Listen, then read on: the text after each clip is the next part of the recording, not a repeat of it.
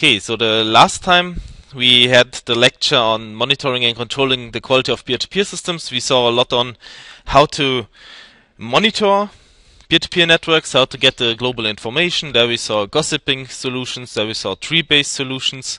And uh, now we are jumping to basically, so we had also a summary. So just to, to wrap up, to, to remind you what we had uh, last time.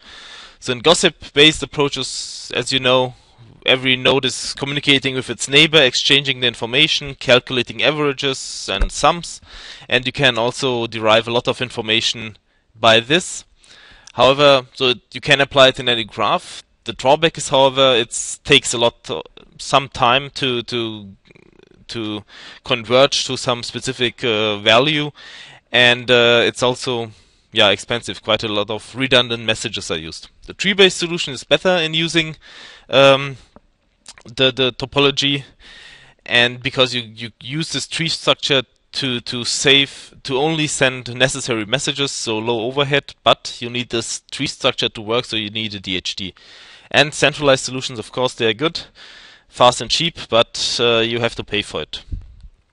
Okay, so the next question, and that's uh, what you are looking uh, at today, is uh, once we know how the peer-to-peer -peer system is like and what the quality is, the question is how can we make sure that the system quality is the way like we want it to have. So, for example, if you are running, ah, so here the the money. So this is summarized in the, the term management. So what you want to do is to administrate the distributed system, and you want to control the quality of service. So what does controlling mean? Um, just to give you a motivation, so just assume you build your own peer-to-peer network and you have an application on top of it, for example, voice over IP or social network or some game, and the monitoring tells you, okay, now the application is too slow. Somehow, for example, in your social network, the users want to request the, the friend lists or the profile pictures or whatever, and it takes too long to find them. So the, the result of the monitoring is that the response time, the lookup time is, for example, three seconds. Now you would like to improve it to lower it down to half a second, for example. So how can you do it? Because your network has probably 100,000 nodes, and how can you change the whole network in a way that it, um, yeah, how can you change those 100,000 nodes so that it the, the overall performance improves. So the answer is what you could do and what's somehow easy to the first approach to do is that you reconfigure all 100,000 nodes in a systematic way. And this systematic way we will have a look at.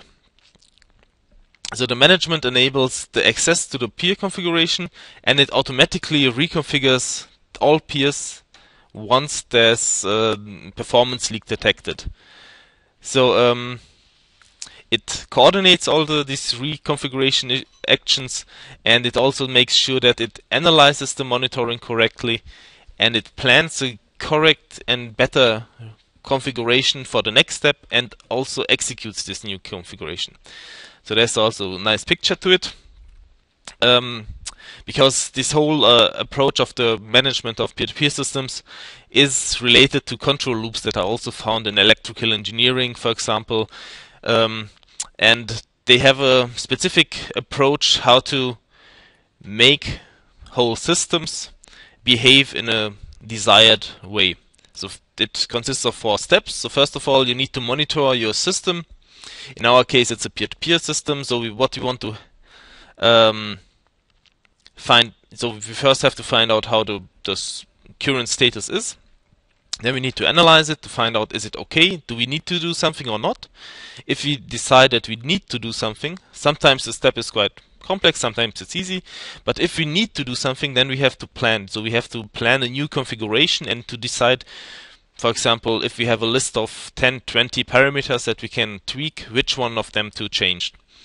And then once we know which parameters to change, then we need to execute it and to deploy the new configuration everywhere in the system.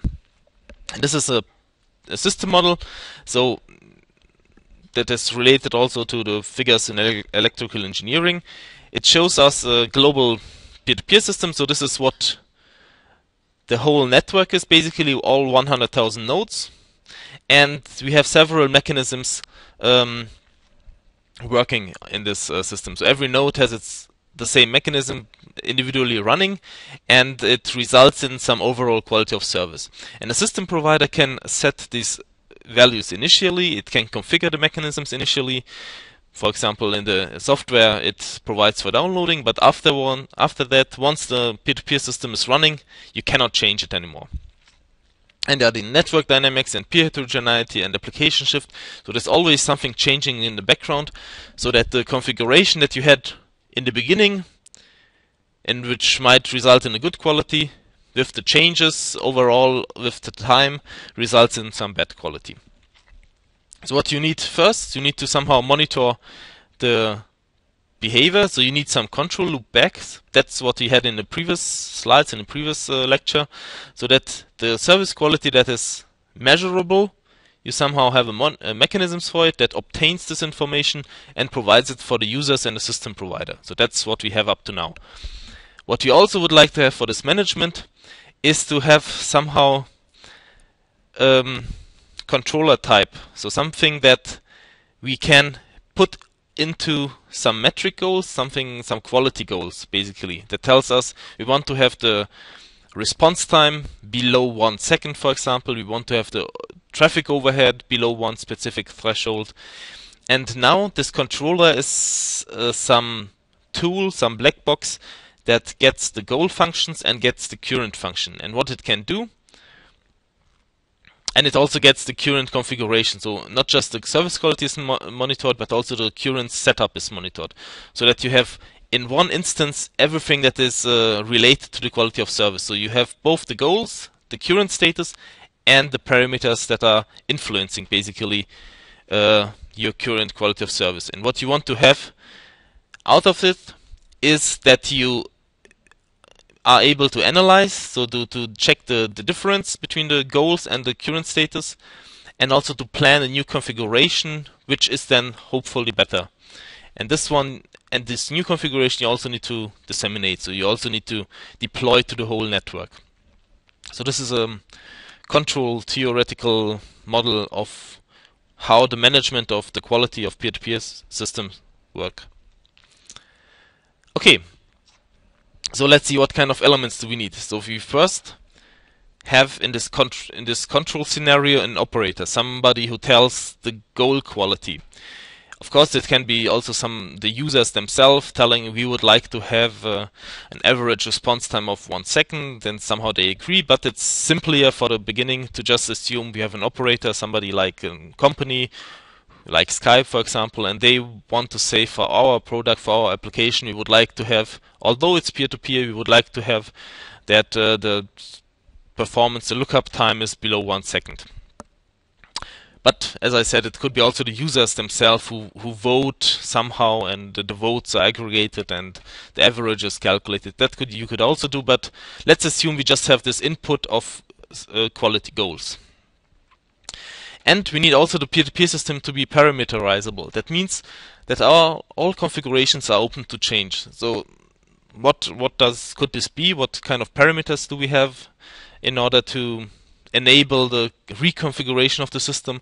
That could be, for example, stabilization intervals. Um, for example, fixing your fingers in a Chord, so in which periods you do that, or how you pick your neighbors? How do you pick your neighbors in the topology? How do you pick your fingers? There you could also decide either stronger peers or long living peers or um, according to the ID. There you ha have also probably several strategies.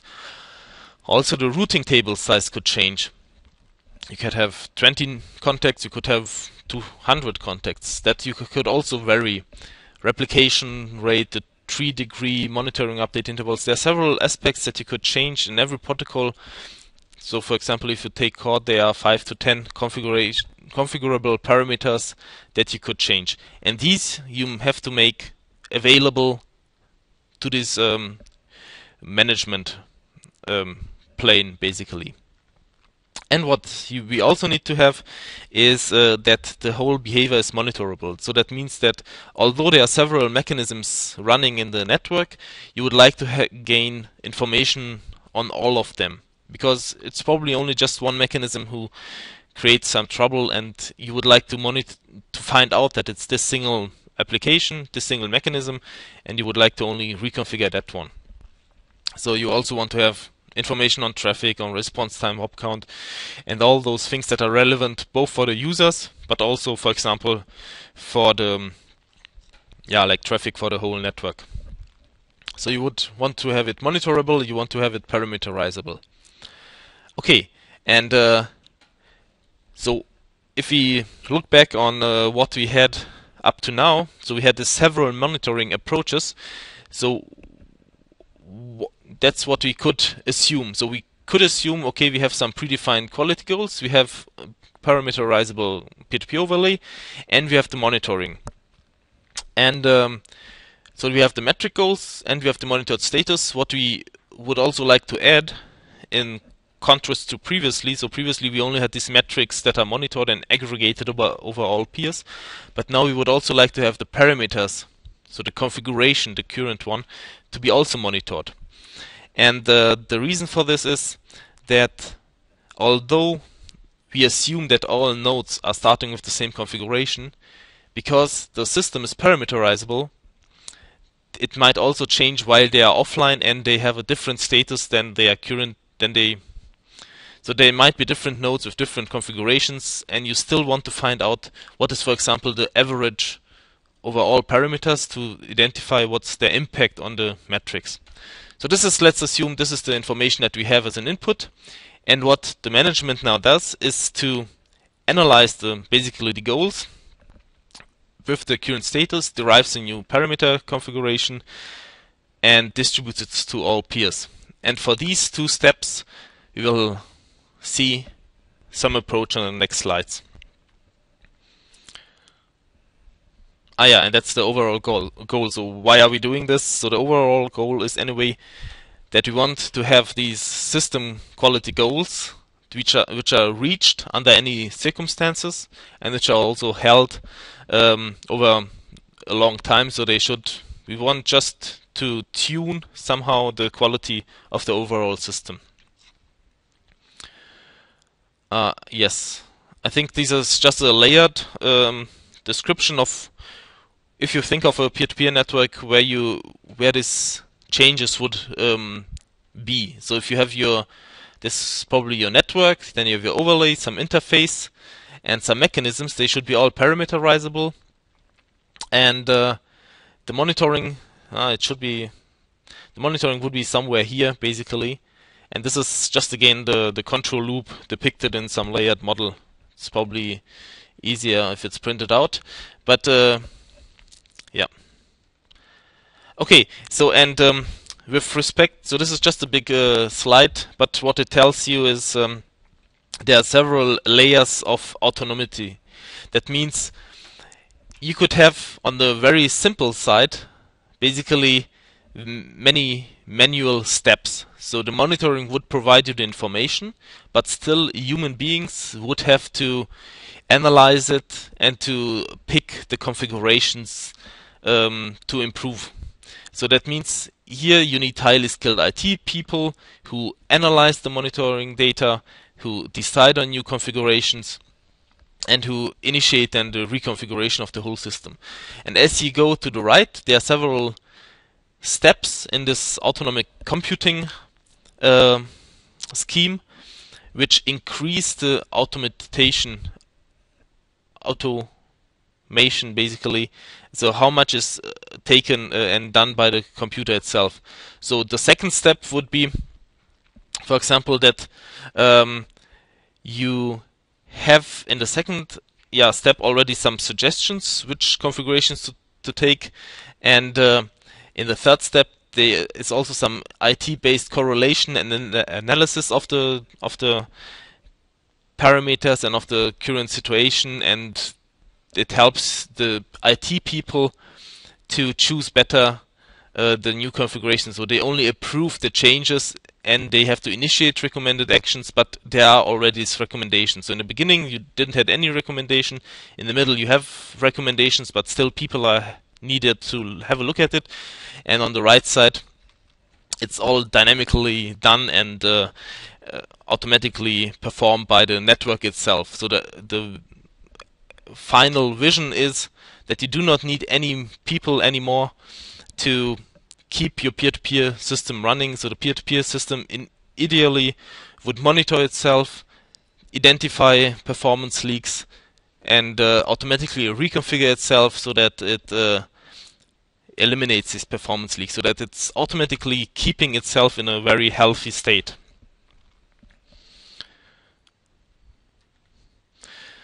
Okay, however, so the, the simplest, so we want still to do a step, one step after another, so we do not uh, jump into with uh, directly out, fully autonomic uh, and automated uh, changes, but we go one step after another. So what we would like to have first is some simple planning, um, which makes it somehow observable what is happening. So we have the monitoring, now we need the analysis and planning, and it should be of course stepwise adapted until some desired interval is uh, reached. So we assume that we can define for the quality of the peer-to-peer -peer system several quality bounds. So it should the violation, for example, if you take the lookup time, you would like to define a valid interval for it, and only if it's missed, so if it's uh, not in this desired interval, then you want to change something. Ah yes, and um, this planning, so the, the next step after the monitoring basically takes into as an input the current configuration, the metrics and the metric goals, and it um, gives as an output the new configuration. And as we also uh, might assume is that you, if you have a network of 100,000 nodes, for example, and you decide on a new configuration, it takes time to, to take effect. So, for example, if this is the time when you decide on your new configuration and you somehow have to distribute it, then it needs time, some time to, to take effect. For example, if you decide that a new peer selection strategy should be used and the neighbors should be used according to some other uh, metric, then these new neighbors have to be chosen and it takes just some time. And once the changes settled and there are no more changes, then we might assume, okay, there's the current configuration took effect and we can an analyze here again. And the new analysis uh, should not be done in this period. So the question is, in a peer-to-peer -peer network, who should initiate initiate the changes and who decides on the execution? So how can this be done distributedly? And uh, there are several approaches on who decides basically to reconfigure. It could be so if you have an yeah, there it heavily depends also on the monitoring approach. So where you get your information from. So for example, if you have an unstructured peer-to-peer overlay with gossip-based monitoring, then you could um, use the, the, the um, fact that with the gossip-based monitoring, you do not have any structure. So you cannot, you do not have dedicated nodes which are somehow of higher order than the other nodes. So all of them are the same, and all of them have the same in input basically uh, with the gossip-based monitoring. So every node could individually plan locally what to do. So they monitor, they um, and then they decide to reconfigure themselves. But it assumes that you have globally accepted planning rules. So if you have the same rules and you get the same input, then you should also should get the same output.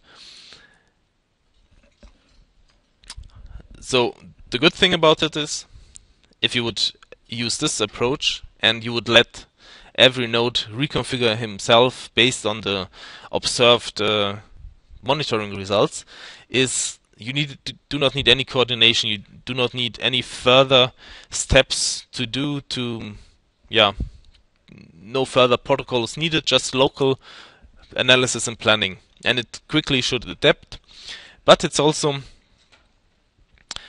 So the cons, um, it's heavily depending on this gossip-based monitoring, and it also somehow inherits the drawbacks. First of all, the monitoring is a bit slow, okay, but you have to have these globally accepted planning rules, and they cannot really change because you do not have the protocol to to to to send out new rules because yeah, it's basically the same. If you would have an opportunity to to send out by somebody new rules on how to to change the the configuration, then you could also send out the configuration itself. So it's a little bit tricky on how to change these globally accepted planning rules. And based off this, the, the behavior could also diverge. So if the monitoring results in some delayed observations in one part of the network differing from another part of the network, then you might also come to slightly different behaviors which might um, have get um, greater effect on the long term. So it's not really, yeah, it has some benefits because it's fully decentralized, and uh, but it also has the drawbacks that you do not have to control whether it's converging into the same direction. Of course, another approach is centralized planning. So if you have, for example, this tree-based monitoring, then you could also reuse the tree structure which you already have to have dedicated nodes which decide on how to pick the configuration. So for example, in the tree you have the root and all the information is gathered there anyway. So this root node could also decide on a new configuration and push it also to all of the other nodes. Yes. So it's um, just like the tree-based monitoring before. So all of the monitoring information is aggregated and pushed to the peer. Now you also aggregate and gather the configuration so that it's easier to analyze the, the status and uh, what is the reason basically for quality leaks. And the root can analyze and reconfigure and push the reconfiguration with the global status to all peers. So the good part about it is that all of the nodes get the same decision basically. They all applied it the same way. And uh, you could also um, you have directly ah this quality goals can also be centrally tuned. So that means if you, as a system operator, decide that you would have instead of a quality quality goal of one second as a lookup time, you would prefer to have half a second. So you want to change your quality goal, then you have a central instance basically which you can ask to change the goal. So you do not have to contact all of the nodes, to change the quality goals, but it's easier to to change them. The drawback is, so can you trust the root? Is the root really well performing?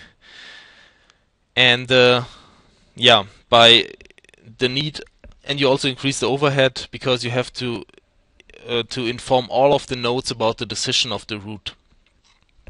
So higher drawback, uh, so higher higher traffic overhead and uh, security issue, but you have a mm, probably more efficient and more um, flexible solution.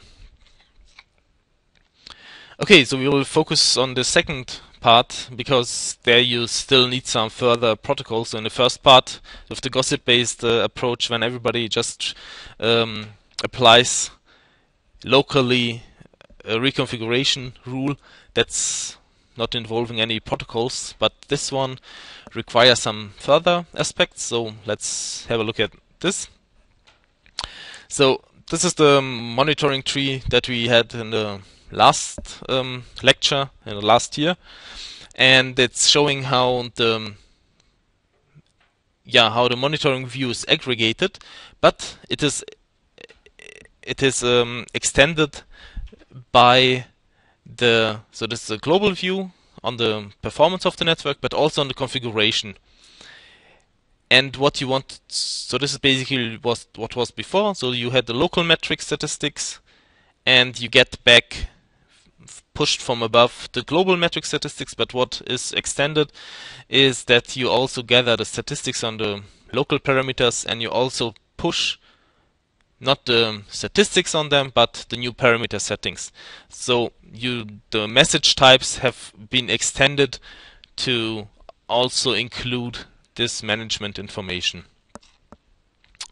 So the the protocol itself is uh, then you gather some fur further information. The root detects whether the quality goals have been reached or missed, and if they have been mi missed, then a new configuration is planned.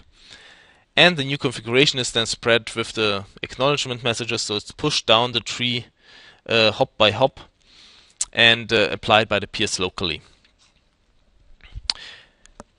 So also from the protocol side of view, it's so once you have the monitoring, it's um, simpler to apply the management uh, component.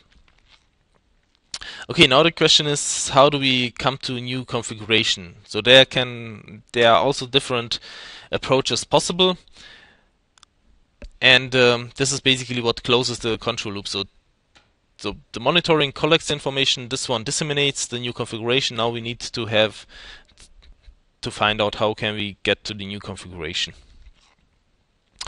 Um, here will be an example. Just I want to send uh, some words to these various approaches. There are really various approaches how you can identify what um, how the configuration is to be chosen. So, for example, you could have uh, simple rules which basically says if the quality is missed by that amount, then change this and that configuration. So you could manually code it. You could also have very complex machine learning algori algorithms with um, with neural networks which try to learn which configuration, which parameter setting had which kind of uh, result in the global metrics. So you could learn the interdependencies and automatically choose based on your quality requirements the the optimal parameter settings. But this is also very complex. So let's uh, have an example with Chord. Chord is quite well known. So what um, should be done and what has uh, this is just an example that shows that it's working. So if you take classical Chord, you make to first make it parameterizable. So for example, you have to make the finger table size extendable so so that you can change it between 20 um, contacts or 160 contacts. So you, that's for example a parameter that's to change. And one typical example how you want to use Chord is of course for lookups. And uh, what you want to for example change is the hop count should be in a specific interval and um, so this is the goal metric and the parameter are the parameters is for example the finger table size. Of course, it could be also which nodes to pick as fingers and uh, which um, stabilization intervals to make and whether to send it parallelly the queries or not. But let's assume we only have this one parameter. And you might also think, why is there an interval? So the point is, if you want to keep a network in a specific uh, yeah if you if you aim at a specific quality level you do not want to improve it below. So once it's under a specific threshold in this case a hop count of 10 you do not want to further improve it. And if it's for example a hop count of 2 or 3 then basically the quality is too good and it's not really you do not need it that good and you are wasting traffic basically or costs. So it's okay to to relax the quality. You do not yeah, you do not want to have a hop count, for example, of five. It's okay to have hop count of seven, and to give some um, some resources free. So that's why it's an interval. And uh, yeah, in this example, the it was just an uh, option and test whether it works and whether this uh, control loop um, is feasible or not. and it was uh, tested with 10,000 nodes, monitoring tree with an update interval of 30 seconds and branching factor of 4. And uh, for example, what can be observed is uh, so what you want to change at the end is the hop count. And what are the interdependencies? So first of all, the number of contacts. These are the unique uh, yeah, contacts of every node. They are um, proportional to the logarithmus of the finger table size. So that means, for example, if you have a finger table size of 160, so you do not have 160 individual unique contacts, but you have in average around the logarithms of it as unique individual contacts. And the hop count is anti-proportional to the logarithms of the contacts. So there are these interdependencies and uh, it has been simulated. Ah yeah, and um, what was the approach? So if the hop count was identified that it's too large, let's start with this. So if you identify that your hop count is 20, then you double the finger table size and if you identify that the hop count is too small, let's say 5, then you can throw 10% of your contacts, of your finger table uh, size away. And um, yes, so this this was the observation. So what you you can do is to modify finger table size, affect the contacts, and with affected contacts you affect the hop count. And here's some graph for the interdependencies. So for example, um, where do we start? Let's start in the right. So this is the, the red line is the desired quality interval between uh, 7 and 10 and we started with a finger table size of around 20 and uh, as it was see as it's um, as you can see the hop count was with 20 with finger table size of 20 was around so the hop count was around 80 and then it was det detected yes we missed the quality level so we doubled the number of contacts and then it was measured again it still missed and then it's doubled again and then it's still missed so it's just not 10 10 point something and then it's doubled again and then we are in the desired quality level. And here you can also see the interdependencies of with the finger table size. This is the logarithmus of it with the with this axis it's the number of contacts and the number of contacts is anti-proportional to the hop count. So you can by knowing the interdependencies you can directly basically code the the rules that should be applied when uh, some quality misses are identified and you can take control on the overall behavior of the whole peer-to-peer -peer network. And this is quite desirable. Another example so this is uh, yeah basically one the, the left picture is showing how the quality interval is read is, is approached from above. So if you start with um, too high, so initial finger table size of 20, and then your hop count was around 100, and after two steps of automate, automatic adaptation, the desired quality level was reached, and the same is if your quality is too good, after three steps you relax your your routing table so you do not need so many contacts and you are still by throwing away around 40 fingers um, you get the desired hop count. Okay um, so why is this good why is it needed so if you think of really that you want to use some peer-to-peer network, especially if you want to make it commercially and you have um, picky customers and you want to have really happy users that are that are satisfied with the quality and the performance of, of the whole network, then you really need an approach to observe what the quality is. So you need monitoring and you also need to be able to take control of it so that you can change it during the runtime that you uh, have an automated approach to really, if you have 10,000 nodes, like it was in an example before, that they can automatically reconfigure themselves so that the performance that you um, want to have is really reached. And uh, you can do it both with gossip-based approaches, you can do it with a tree-based approach. The important aspect is just that this monitoring and control is really necessary necessary need for peer-to-peer systems. What can be also done, and uh, there's also some uh, research work on it, is how you have a long-term storage for monitored status so that you really store these interdependencies, so which parameters led to which quality results.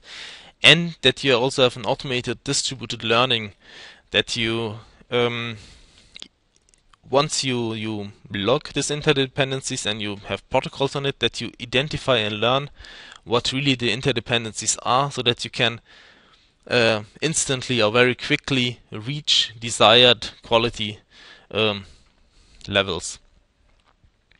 And the good thing about this distributed learning is that you also have sufficient resources in the network to you have enough processing time, you have enough storage time, uh, storage uh, space to to really implement it.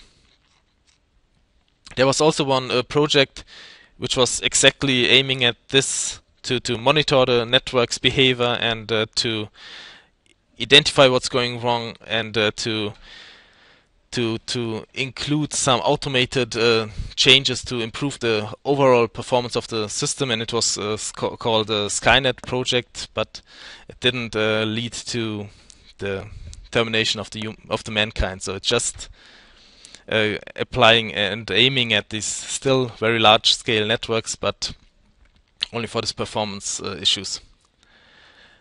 Okay, so this was uh, the last slide for this slide set. Uh, we will um, continue with a similar topic.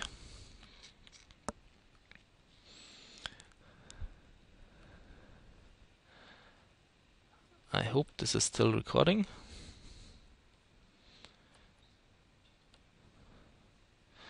Um, one moment. Yeah, fortsetzen, okay. Okay, so we are continuing with um, this topic peer-to-peer cloud system. So there are several buzzwords included, and um, we will see why this is probably also a big trend in the future. So we'll have a look at what is a peer-to-peer based cloud, um, and two steps are needed for it. Basically, first, it's a lot of about uh, resource management. That in the cloud, uh, you need some some specific yeah, resources like CPU or storage space at the hand always available, so that you also need peer-to-peer system, and you need reliable reservations, although in peer-to-peer it's everything unreliable. So these are the topics that we will cover. So let's uh, say some words to the evolution of cloud computing. So cloud computing is, I think last year was the peak in the hype, and um, it was also the, the main topic on the CeBIT last year, I think. And where does it come from? So first of all, in the 80s, beginning of 90s, grid computing was the big topic, and that was that um, you had several companies offering, for example, storage space or computational power, and you wanted to enable high performance computing. So, for example, this Large uh, Hadron Collider or some physics yeah physical um, in physical um, yeah physical um, projects generated lots of data that needs to be processed and for that you needed really some highly specialized grid environments where you could calculate all these large masses of data. The next step was the term utility computing, which was some something like plug and play uh, uh, retrieval of, of resources. So you could you could retrieve computing resources as a pay-per-use service, so out of the plug, basically. So here you had um, the, you could get as much hardware resources as you wanted on a pay-per-use basis. And software as a service was a topic.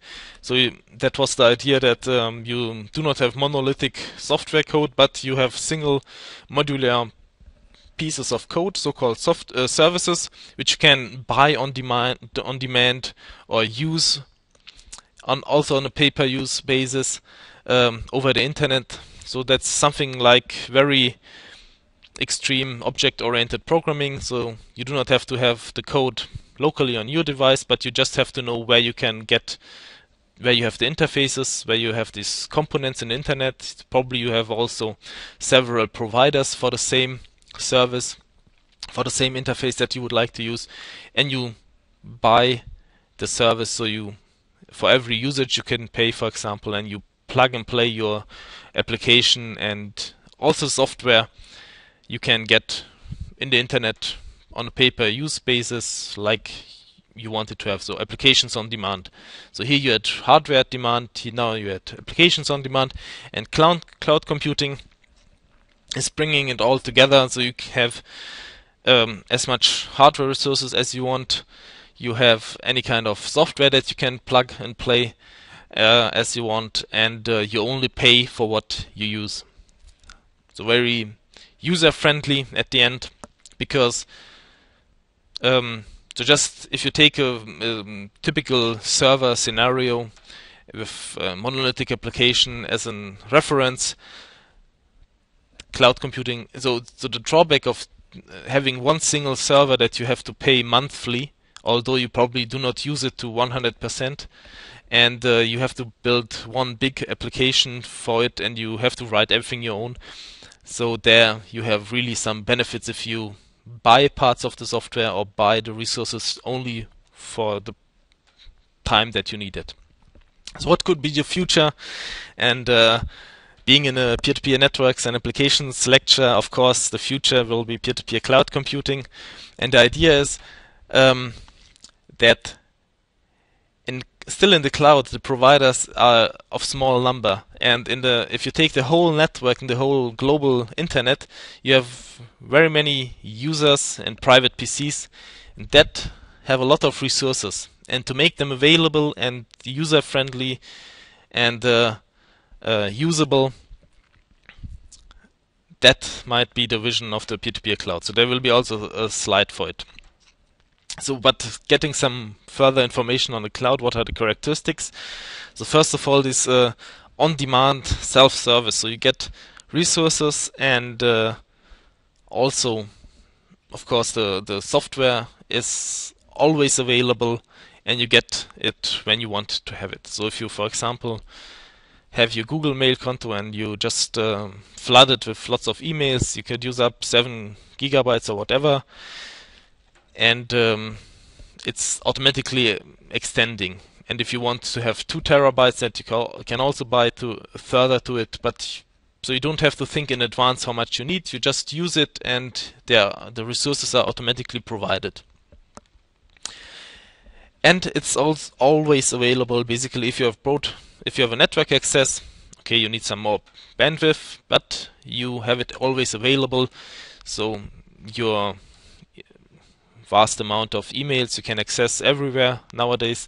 It's no problem, and uh, you could yeah you could use any kind of these uh, uh, services all over the world easily. Um, what is also so this is more from the provider view is that you by getting all the resources that you want to have um, for the provider it's more convenient because they don't have to have for every individual user the maximum resources that they would like to have, but the resources are pooled. So there's a big pool of storage space and uh, server capacity, and they are assigned to not one single user, but to, let's say, thousands or millions of them. So they are all sharing the same same resources, and by this it's getting uh, cheaper for the provider.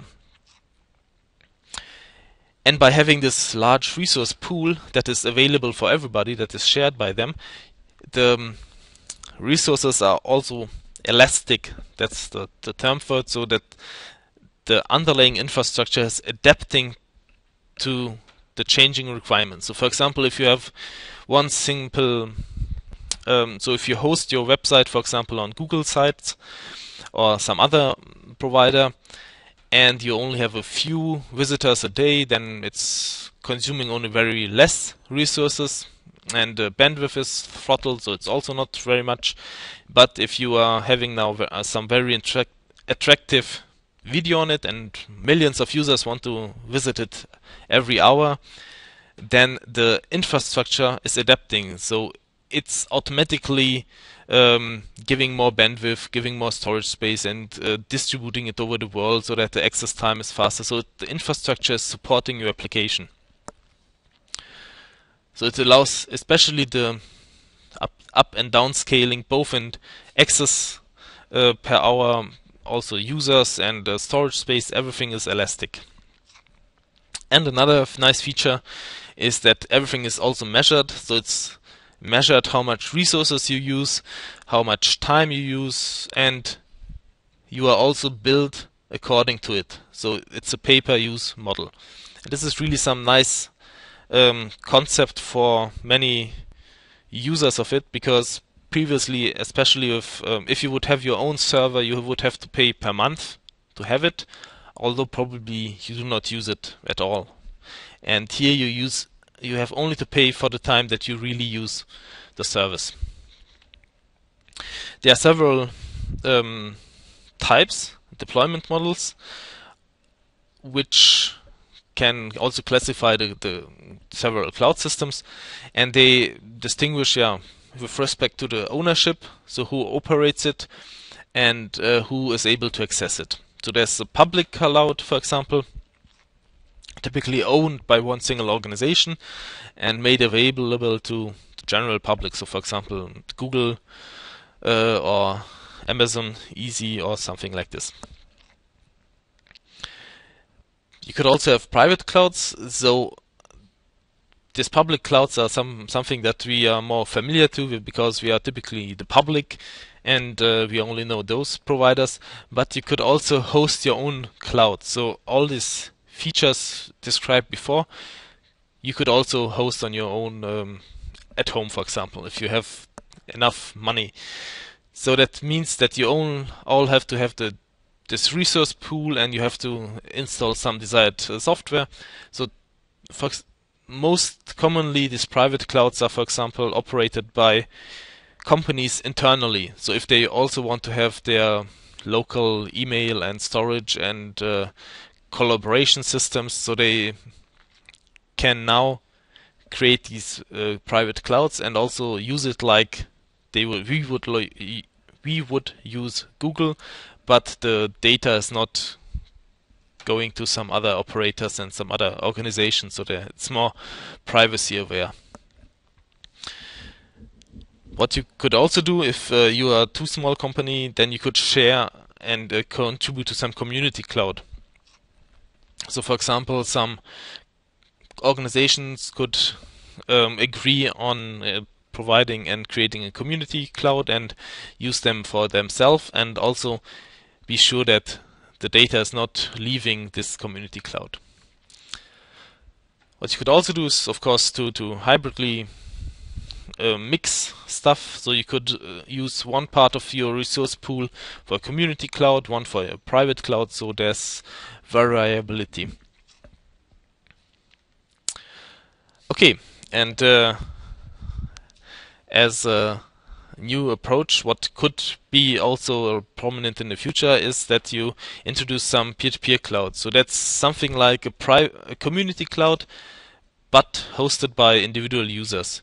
So owner, operator, and user are the participating peers in the in the cloud, and you need some clever mechanism that make the resources of all the users available, so that you have this resource pooling, and you have the the desired um, high cloud quality that it's elastically and the resources are extending and elastically uh, adapting to your needs and uh, that you have this measurement and the billing abilities. So just think of the cloud features that we had on the last slide on this, but without any servers included. So just think of all the users, let's say 1 million users, they create some resource pool. Of course, they need some network access for it. And if you host on this peer-to-peer cloud some service, then the service gets as much resources as it needs. The service consumption is, is metered, so it's there's some protocol on it. Pay per use. Let's let's see whether there's uh, money in it or not. But you could have some incentives for the users to provide more resources, and um, yeah, you have all the resources that you need. So it's not limited to servers. You could also have it with a peer-to-peer approach. And here's some uh, nice graphical example for it that um, shows how it might work and what there's also yeah what the research trend is currently. So just assume that all the peers have some capacities like storage space, computational power, online time, bandwidth. And what you would like to have is to use these resources but with a service level agreement. So also with some guaranteed yeah, service. So for example, these are the users and they have different resources, so storage space and time. So he's always online. Uh, he has computational power. He has some, she has some high bandwidth or so. And um, now they create all this um, magic peer-to-peer cloud. Let's say that's a black box. The black box gathers information about the system, so what kind of capacity is available in the network, so to create a resource pool. And if some service is required, for example, so this is some low-level service, so for example, storage space because he wants to store something, then there's some opportunity to search in the pool to find appropriate resources. For example, that guy has some storage space then it uh, also calculates some trends. Will this peer fail? How should the replication be? How to provide the the, the elasticity?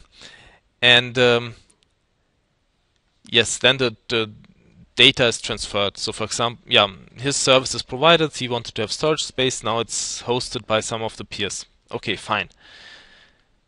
If somebody else joins, for example, he has bandwidth, he wants computational power, uh, and as as a price, for example, could be he should provide bandwidth. So that kind of exchange could be the vision. Okay, now he distributes his computational task. For example, he wants to simulate something or he wants to, to calculate something. And if there's some churn and peers are failing, then automatically uh, the services are migrated. And if, for example, this uh, service is consuming too much resources, then it should be also uh, re um, provided more redundantly. So it should all adapt according to the needs of the users. And again, what are the trends? Why is this probably coming up? I think we saw already the slide. I'm not sure.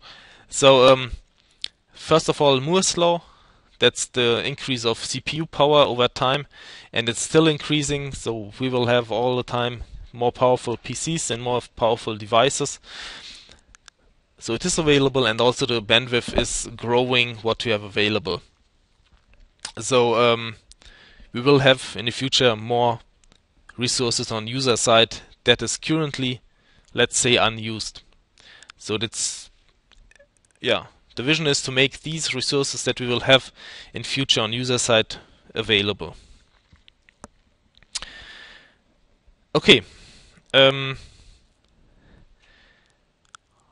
let me just yes. Um, yeah, what is the um, ah yeah this slide? So in the future we will have more and more um, resources available, and this uh,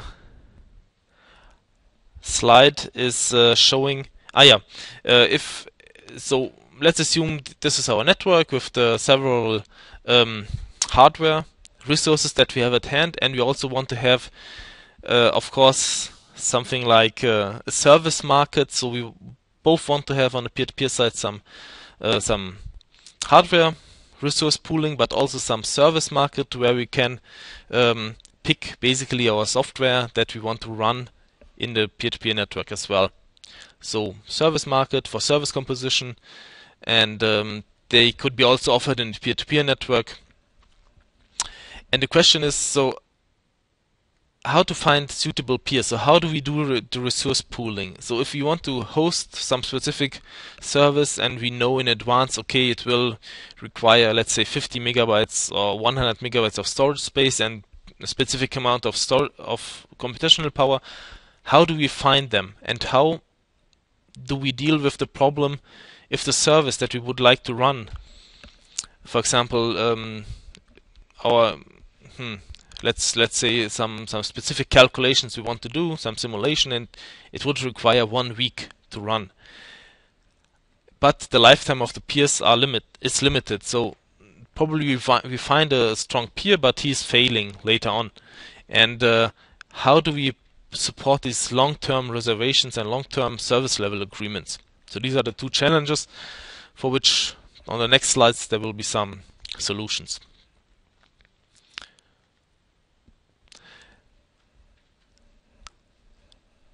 So we need on the one side we need to find suitable peers, okay, and uh, on the other side that's for example depicting the lifetime of the peer. So if you find a suitable peer, what you also need to do is to allocate redundantly the resources that are available. So for example, in order to not lose one service because it was running on a on a peer that went offline, we need to do them redundantly and to always make sure that we have sufficient number of providers parallelly running and par parallelly allocated. So we need to have a resource pool to find the nodes and to find sufficient number of them. And uh, this reliable peer-to-peer -peer service, what does it require? So we need to identify the resources, so we need to know what every peer provides. We need to somehow reserve it and we want also to once we reserve the resources to be able to host some services on them. Ah yeah, okay, this is just some some example as how you could uh, think of it. If you have various capacities multidimensional, then you would like to define some intervals for capacities. So we would like to have um, capacity B should, should be at least this threshold, so all above, and capacity A should be everything right to this and um, we want to find the appropriate peers.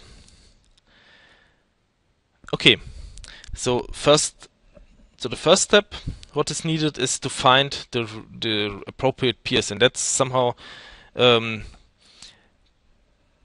uh, that's somehow um, summarized under the term uh, monitoring the peer-specific information. So what we want to have is if we have several peers uh, with local sensors, they they should be all able to monitor their local storage space and CPU and online time and all that. We want to have some magic mechanism basically where all of them tell what kind of capacities they have and the mechanism, so this monitoring peer specific information, should provide an interface with which we can search for peers with given capacities. So to find peers with desired resources.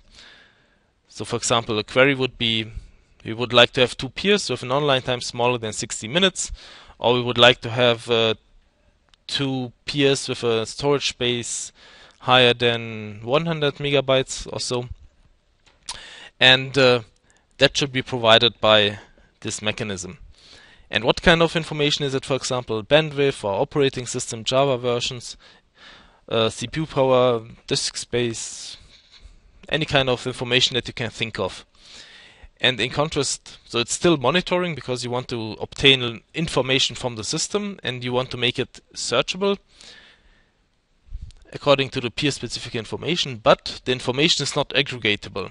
So this is some big difference to the monitoring approaches that we had before, where we had statistics.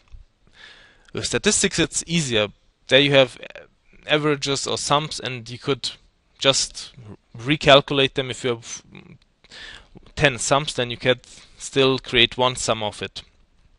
But with that kind of information, you cannot aggregate. So you cannot aggregate the information of PAA and PAB.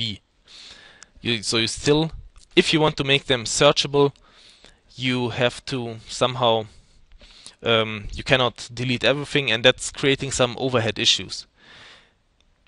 So we had, so there are several approaches how this can be solved. This black box basically. and we will see one approach for it. Uh, yes, this is also a list what is um, typically gathered. So, for example, we will have in I think the next lecture an, an example for um, social for peer-to-peer based social network, and this is just showing what is, for example, monitored there. So the operating systems or Java virtual machine or nodes responsibility range or all that information. So um, how does the typical query look like in, with the capacity-based peer search? So we want to find a specific number of peers with um, requirements on the on the peer-specific information. So, for example, the node degree should be above 20, free storage space above 10 megabytes, and online time about above 10 hours. So this is for this is how a query should look like. And now, in implementing this, there are several approaches possible. So you could either have it um, proactive by, for example, a tree, but which is constantly creating this uh, search structure so that once you have a, a, query, it can directly access the prepared data. So it's quickly answered. But it needs for that some structure in the background and this constant uh, monitoring. You could also have it reactive. That's, for example, if you would um, have some unstructured peer-to-peer network, which is very similar, where we have had this uh, keyword-based search. So in an unstructured peer-to-peer network, as we saw, uh, you could search for MP3 files, for example, from Britney Spears, and then you type in Britney Spears as a uh, singer, and then the network is flooded, and all of the valid matches are sent back. That could you could also do, but it takes quite quite a lot more time to be answered because the data is not prepared and you are creating then during the runtime with every query lots of uh, traffic. Here in with the proactive mode you are generating constantly the traffic overhead but once you have a query it's taking uh, only a small amount of traffic. Okay, um, if you would have it reactive then um, so if you flood the network, if you, if you would flood it, then probably you find all of the matches. If you have a structure, then you have the, like a tree structure for example, then you have the problem that if you would really want to have a complete information over all nodes, then the higher levels in the tree are overloaded because they are containing too much information. So it's the design decision in this solution is uh, that the information is incomplete but 100% of the queries should be solved. And the, the challenge is now, um, so if we apply it to a tree structure and um, the information is growing as we approach to the root, then the nodes, so the so-called coordinators, the inner nodes in the tree, might be overloaded.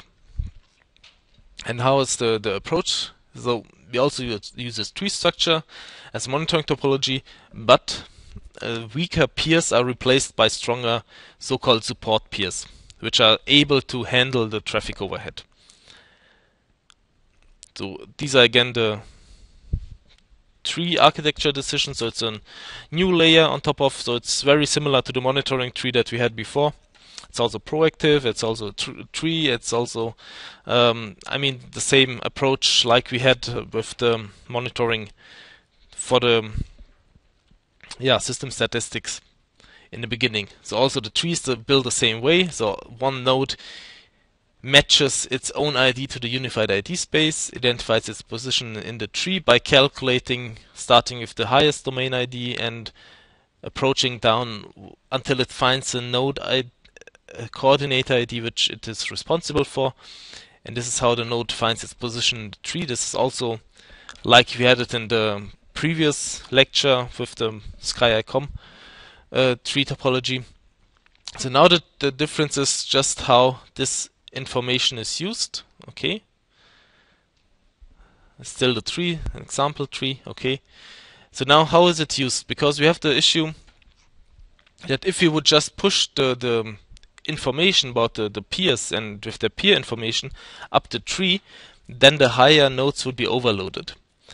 So now we introduce so-called support peers for load balancing. And the first assumption is that every peer can define a maximum load, how many um, peer information it is able and willing to to um, store. And for example, if one node, for example that one, is overloaded and cannot take all of the information that is transferred from here and so from its uh, children nodes, then it can pick among the information that it gets from them about the peers in the network, some support peer, and say, okay, you should take over my role, and uh, the children peers should send the corresponding peer specific information to that support peer. And with it, you still have the um, tree structure, but you replace the weak peers in the net in the in the tree with stronger peers that are able to carry the load. So how do you pick the support peers? So just assume that here in the in the bottom you only have one peer that you have to monitor yourself and you are sufficient powerful enough to make that. And as you approach higher, you gather information about the, the peer specific informations below you. So for example, uh, this node knows should know the strong peers in this domain, so all of them here. And it can it identifies among those nodes the two best peers in the domain. So yeah, and the best peer it can uh, send up. Okay, this is uh, the best in my domain, so it's probably uh, more useful for you, but I can take the second best for myself if I'm too weak. And by this, um, the best peers are always propagated up. So at the root, the best peer is really available, the strongest peer and um, highest bandwidth and highest uh, uh, storage space and everything. That is available to take over the most loaded job, basically. And for every um, level below, it's the second best from the whole domain which is available to become a, a support peer. And the idea is that although, okay, it's not the best one from the domain, but still the second best should be good enough to take over the load. Will also, yeah, and that results in a tree with uh, strong peers where all overloaded peers should be eliminated and exchanged, and uh, no peers should be overloaded because, especially, the nodes communicate with each other how much load they are able to carry. So there's also this example how this looks like. So let's assume this is some snapshot of the tree and uh, we have uh, subcoordinators, so the, the children node um, 1 and 2 and this is the amount of how much traffic no how much uh, information no how, this is the the amount of information of how many peers they are monitoring. So this node is, has information about 500 peers and this one has information about 750 peers. And the coordinator is able to take 200. So the receive, the maximum of receivable attributes, that means peer entries, is 200. And the, its parent coordinator is able to take 3000. Okay, so in the beginning, before they with their first message contacting the parent node, they do not send everything at once and overload the spear, but they send only a smaller amount, let's say 50, and say, oh, I have uh, uh, 400. Uh, okay, let's assume that that would be 20 and that would be also 20. Then it would be easier with the maths. So, uh, interesting. Okay, so in total, However, that should be uh, 750 and that should be 500. Okay, and that node, so just uh, apply the, the corrections that it fits. Okay, so he received fifth, let's say, okay, this you need to change. Okay, in total he received 100 entries, which he forwards, and he has nothing more received. But he knows, okay, there will be uh, 450 and 650, so 1100 more and I want somebody who can support me and I contact the second best peer out of this 100 because I know so they should me send me for example the ordered list of their peers they know and these are the top 100 list uh, 100 peers of of these uh, 1250 nodes and now I contact the second best out of this 100 and he has for example maximum 4000 and I ask him okay I need some help you should help me and take over the job. If he is not used by anybody else, and he is not used by anybody else because nobody below is using him and nobody above anyway. So he is uh, still free and he accepts the request and uh, the parent coordinator also in, in this next step answers, okay, you send me 100 and I'm able to carry in total 3000 nodes, uh, 3000 entries, basically 3000 um, peer informations. Okay, good to know. So um, here the numbers are already adapted. Good. So uh, the node answers to the children node. Yes, uh, send me 80%. Uh, send me 80 um, peers and uh, send 420 to my support peer. And you should send me 120 um, contacts, and uh, the support peer should receive 630. So all of the entries are sent and uh, forwarded then to the parent coordinator, which is able to carry all of it. So this is the approach how those children nodes are sending their information to their coordinator, so the, the parent peer and the support peer. And so you just we just extended the tree by in maximum one further node per inner node. Okay, this is just for printing. Uh, so if you print it out, then you have it at one scene. And so how are the queries then done? So if you are looking for a peer, let's say you are looking for uh, I am peer P, looking for seven peers, and uh, I give some capacity requirements, for example, on storage space or on uh, computational power or whatever. Then I contact my parent peer, he forwards it to his support peer and attaches fitting peers. And the support peer contact sends it to the to the parent peer of those two. And the, the list is extended all the way up and once the list is full, then the answer is sent back to the peer, to, which requested uh, the initial, which sent out the initial request.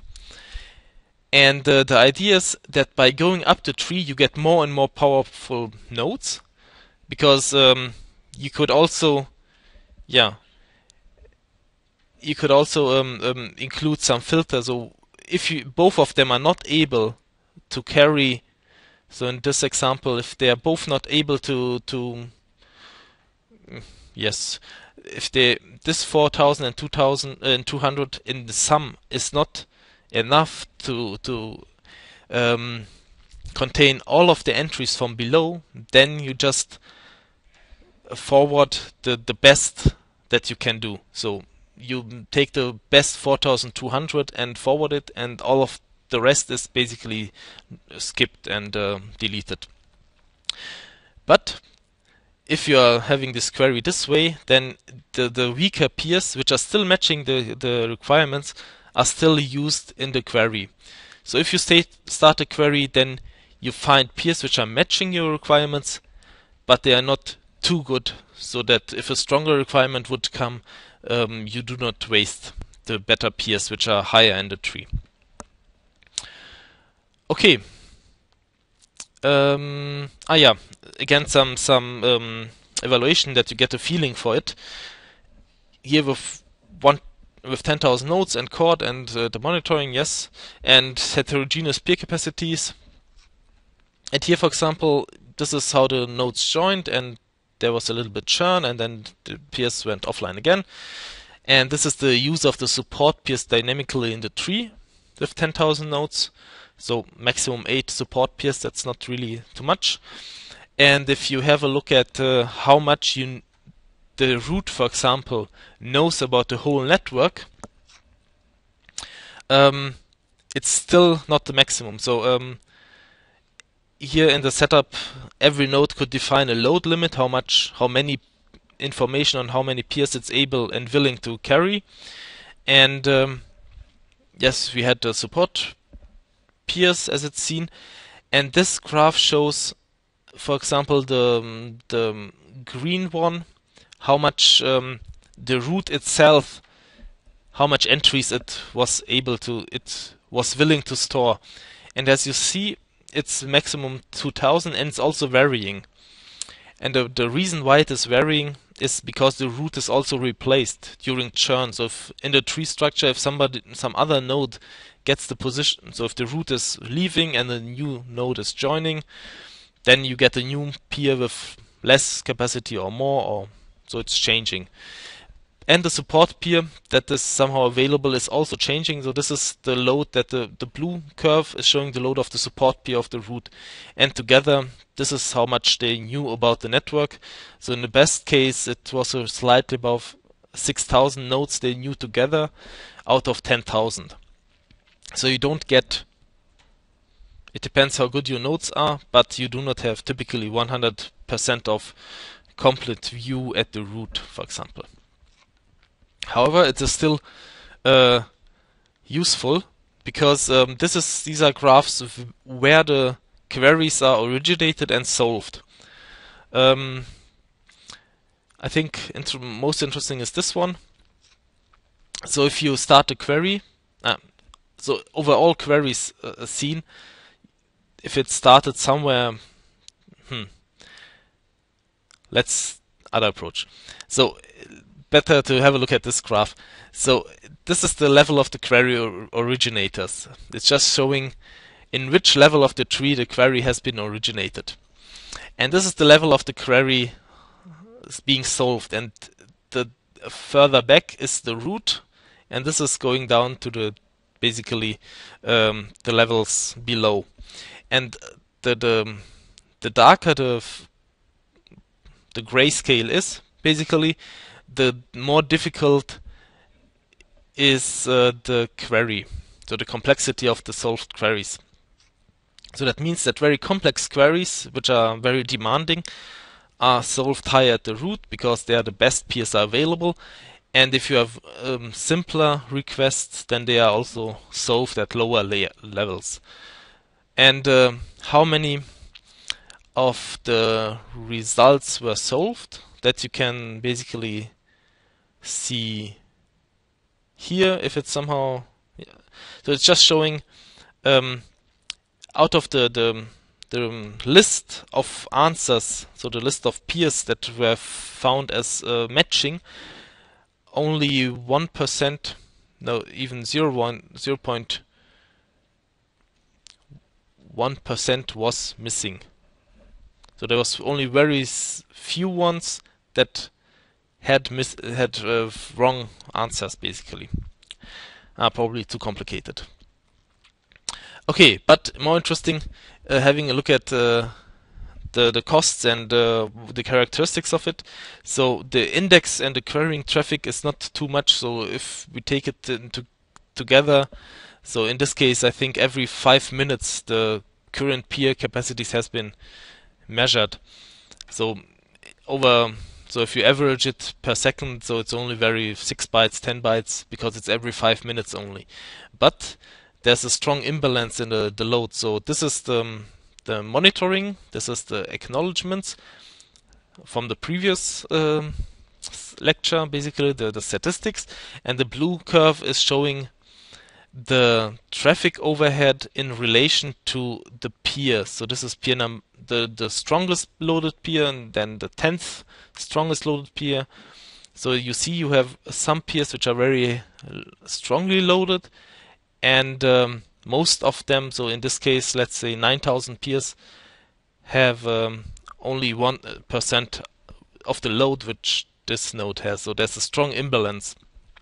But this is also desired because we want to uh, to to map the traffic load to the stronger peers and uh, to not have it evenly distributed but matching the peer capacities.